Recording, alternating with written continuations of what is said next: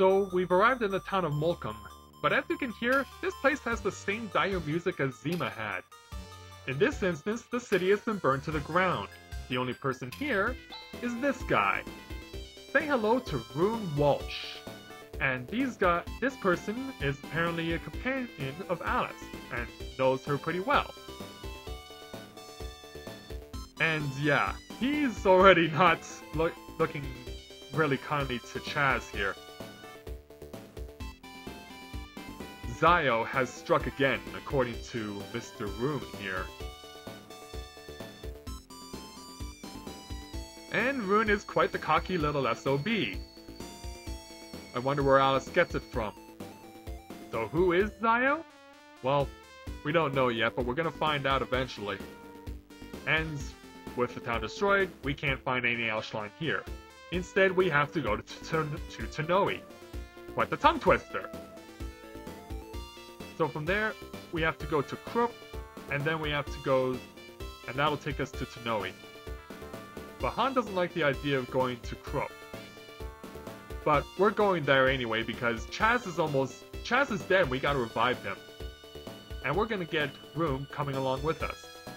Chaz doesn't like this idea. But since Alice is running the show, Chaz is overruled. And unless I didn't know any better, I think Alice is blushing.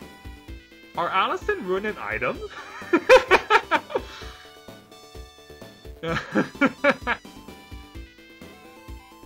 yeah, and I think Chaz Bono is gonna take exception to the name Chaz being referred to as a stupid name. So, yeah, we gotta be moving on here. I'm to go take the quick way out of here, which is by going north, because it's faster to go out this way than by going back the way we came. So now we gotta get to Krup, and with Chaz dead, we're not fighting, we're passing. So here's Krup, on the coastline, and we gotta get to an inn right now. And we're gonna have to pay 60 Meseta to revive Chaz. Now that we've got that taken care of, let's now go over to the armor store. There's no weapons to buy here in Krup, just armor. And conveniently enough, I have enough money to buy two carbon suits. One for Alice and one for Chaz, and after what happened, I'm definitely gonna need them, and now I am broke. so let's give Alice her carbon suits, Let's give Chaz his carbon suits, so they don't die off on us so quickly next time. And as you can see, Rune starts off with us pretty well off. He's starting off at level 17.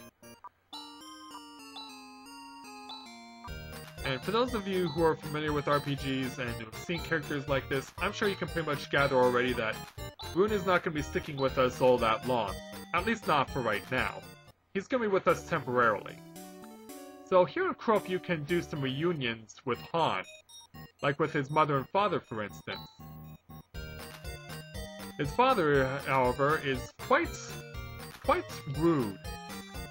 There are a lot of rude, rude characters in this game, and he takes exception to the fact that Han is at the Motavia Academy as a student. Apparently, an important education is not an important ideal to Han's father. But apparently his mother is the other way on that regard. And there's another reunion we can do here in Krup as well for Han. But before we do that, we're just going to save because this gives us an opportunity to um, do the story in two different directions. Wrong button. So just save on both of these files. And so this is something that is optional. This reunion is optional. You don't have to do it. So we're going to meet with Han's fiance, Saya. And this is something, as I mentioned before, um, I'll just let this pass by and show you how it goes down. Um, you're not required to do this reunion here. You can do it, but it will be forced on you later on in the game. There's a situation where you will be forced to be having a reunion with Saya. So either way, you'll be getting to meet her. But I just wanted to show this particular situation to demonstrate this first reunion, and then you'll get to see the second reunion later in a separate video. And obviously, Saya cares for Han's safety. Leading to this kissing scene, which is the best thing about this particular reunion. So, with that taken care of, let's leave Saya to her school children. And let's now make our way out of Krup and head off to Tonoe. So northward we go. And another mo boss, another monster battle. We're not doing a boss duel yet, we're doing a monster battle. So, let's see if we can get rid of the sand newt this time, especially now that we're four-handed. And indeed we do. And the sand newts are actually really good for Meseta. They're worth 40 apiece. So the tunnel to Tonoe is blocked, but this will be no sweat for a guy like Rune. Why is he so cocky? Because he can do something like this. Boom goes the dynamite. and here's something I should point out. Han's saying, I've never seen it before, instead of saying, I've never seen it before. Like, that should be a statement, not a question. This isn't Jeopardy, Han! and another thing, that's where the question mark should have actually been used. Chaz should be, shouldn't be saying magic, or shouldn't be saying magic. He should be saying magic! So, here we are in the Valley Maze. It's not much of a maze, just a couple of um, different places that you can go off track to find stuff. It's really not that much of a maze. Pretty straightforward.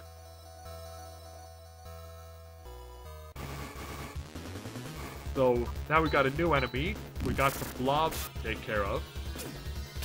As Alice goes her slashers and hits the top of their heads bride style.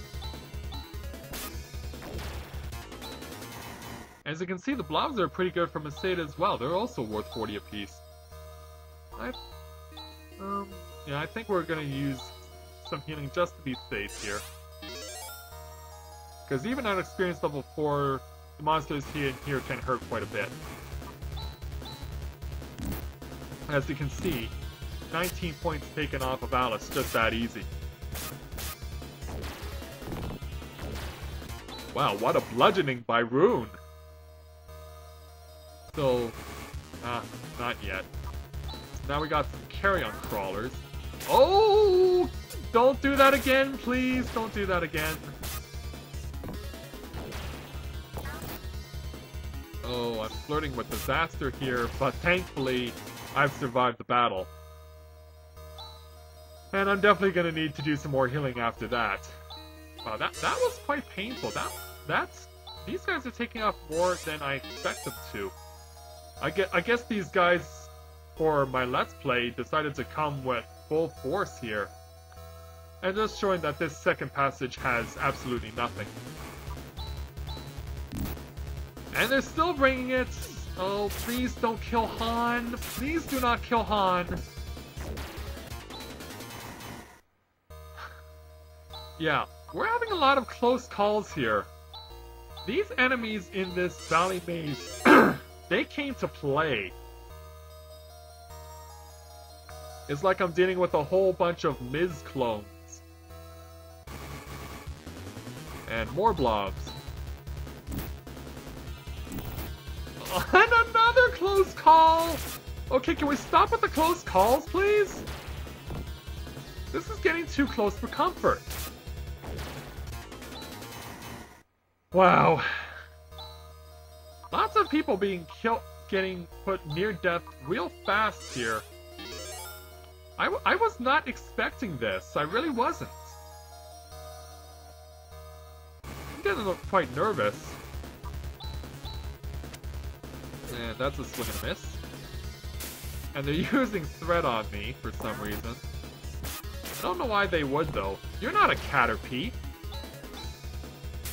And it's basically doing the Caterpie thing again. Yeah, I'm familiar with some of the old school Pokemon, but not the new ones. But, uh, for those of you who have ever tried to figure out what the Pokemon phenomenon is all about, it's really nothing that special. I mean, even back then I couldn't understand it. And so we get 300 of Seda. So, yeah, basically here's how the Pokemon phenomenon works. What, here's what you need to know about any Pokemon episode ever made. Ash, Brock, and name a female companion are traveling through whatever place that they're going through. Ash gets a fit of hunger pains, the female companion complains about it. Then they come across the episode's featured Pokemon. It's usually carried by a female trainer that Brock suddenly starts to try and hit on, unsuccessfully. They find out that the trainer and the featured Pokemon have some sort of situation, and it's up to Ash, Brock, and name a female companion to deal with it.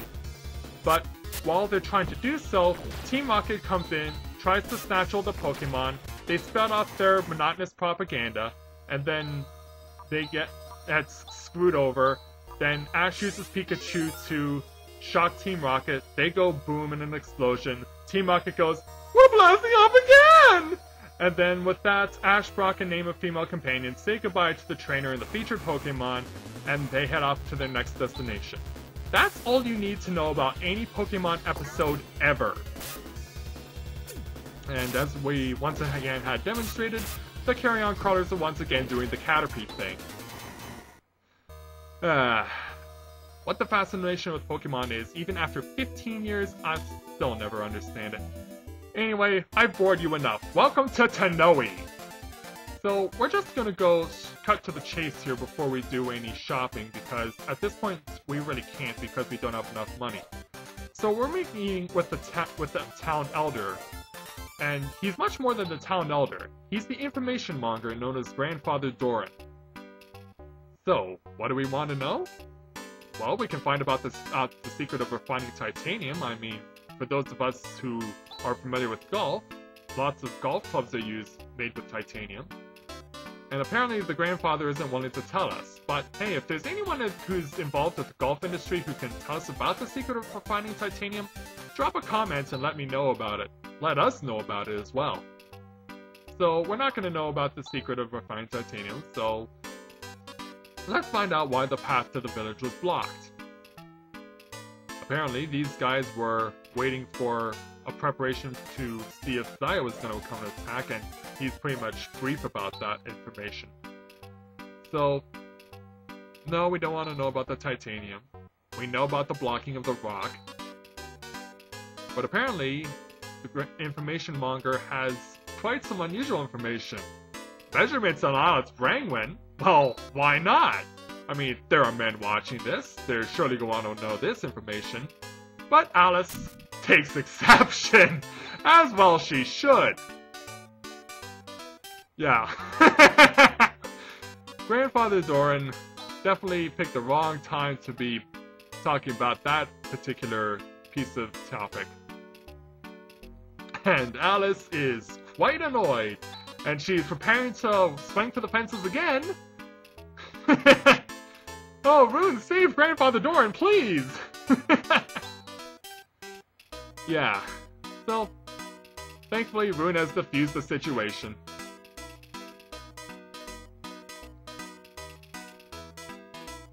So, Rune has some business, as he mentioned before, with Grandfather Dorin. And Grandfather Dorin also wants to let them help themselves to the uh, to the Alshline that we need. Only one problem. Since it is that warehouse is in a, since a dungeon, there's gonna be monsters in it. And to say that it's a teensy bit dangerous at this point of the game is an understatement. The warehouse is very has very powerful monsters. And so we're getting Gryz to come and join us. And he's being exchanged for Rune, who's going to be leaving us. So that's the end of Rune for the time being. And he's still pissing off Chaz. and he's trying to give him a bit of humility. Especially since Chaz and characters are at experience level 5.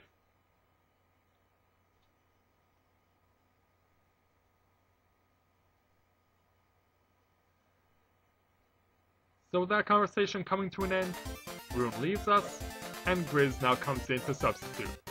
Too bad I don't have a basketball substitution point to suggest that. So this is Gryz's little sister Pana. These two are the sole survivors of the Molcum massacre. Basically, like they're like the two children in Zema who were the sole survivors of the mass petrification that went on in that particular village. So we're gonna go and explain why I'm not gonna be doing um, some shopping right away. Um, trying to remember where the stores are in this place, and it's not easy to remember where they are. I know that they're the blue stalls, but it's the specific blue stalls that they're at. Also, getting some of the reactions from the Motavians, and they don't take very kindly to us humans. So, as you can see, the titanium mail is expensive. It takes 1120 and I will be willing to buy one now. And as you can see, Han can't even be equipped with one. He has, has to be stuck with a mediocre carbon suit. So I have to buy another one of those. Gryz already comes equipped with one of them. I also need to buy a titanium helmet for Chaz. And so that's going to cost me about 1700 Meseta to get those two pieces of armor alone, plus a circlet for Han. That's going to get us to about 1800.